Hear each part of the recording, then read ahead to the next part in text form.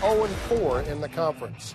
Since a 3-0 start to the year, the Devils have picked up just one point in their last three games. And up next, a Friday night matchup in Newark with the Dallas Stars, who have won three out of their last four. Hey, Pete DeBoer, what's going on? We've played as well in the last three as we have in the first three. We just didn't get the results, and you know that's the NHL. It's finding that that fine line where you know you, you turn those games into wins. For whatever reason, we're just not getting the, the points. I think we're playing really well, and and uh, some bounces, and just uh, you know right now our PK hasn't been uh, hasn't been helping either. So, um, but I, like I said, everyone here likes our game, and um, you know we're, we're not overanalyzing anything right now.